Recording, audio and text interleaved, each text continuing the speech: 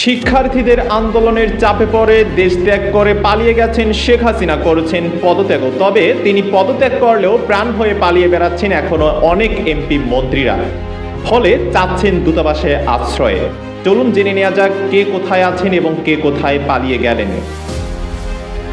গতকাল সোমবার ভোর থেকেই প্রভাবশালী হিসেবে পরিচিত এমপি মন্ত্রীদের অনেকের সঙ্গে যোগাযোগ করা যাচ্ছিল না। অনেকের মুঠোফোন ছিল বন্ধ, বিশেষ করে স্বরাষ্ট্রমন্ত্রী আসাদুজ্জামান খান কামাল, আইনমন্ত্রী আনিসুল হক অজ্ঞাত স্থানে চলে যান। এর আগে হাসিনা সরকারের ক্ষমতাধর উপদেষ্টা সালমান ইফ রহমান, অর্থমন্ত্রী মাহমুদ আলী বস্ত্র ও পাট মন্ত্রী গুলাম দস্তগীর গাজী ও ঢাকা দক্ষিণ সিটি কর্পোরেশনের মেয়র শেখ ফজলে নূর তাপস বিমান যোগে দেশ ছাড়েন। তবে তারা কে কোন দেশে গেছেন তা এখনও জানা যায়নি।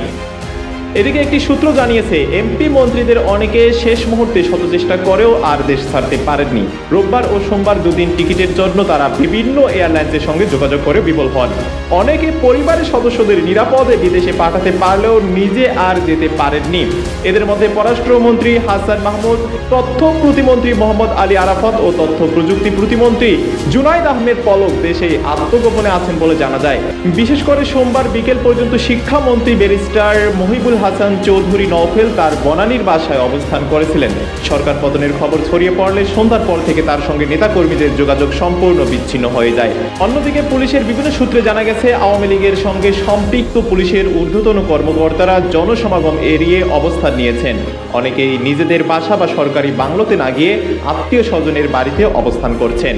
এছাড়া গত রোববার বিদেশ ভ্রমণ করার কথা ছিল বেশ কয়েকজন মন্ত্রী, ভিআইপি ও সিপিআই এর বিমানবন্দরের ভিআইপি লাউঞ্জের মাধ্যমে যারা বিদেশে ভ্রমণ করছেন, তাদের নাম এখনও জানা যায়নি।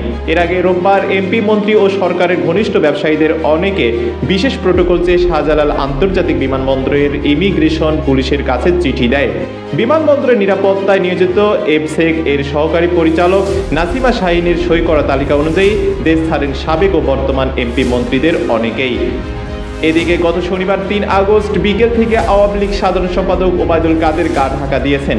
গত শনিবার ধানমন্ডিতে আওয়ামী লীগ সভাপতি রাজনৈতিক কার্যালয়ে আয়োজিত সংবাদ সম্মেলনে শেষবারের মতো কথা বলেন ওবায়দুল কাদের, তবে রোববার থেকে তাকে কোথাও দেখা যায়নি।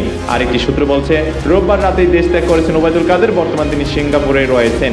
অন্য একটি সূত্র বলছে, ওবায়দুল কাদের বর্তমান নয়াদিল্লিতে অবস্থান করছেন, তবে কোথায় অবস্থান করতেছেন এটা এখন পর্যন্ত নিশ্চিত করে জানা যায়নি।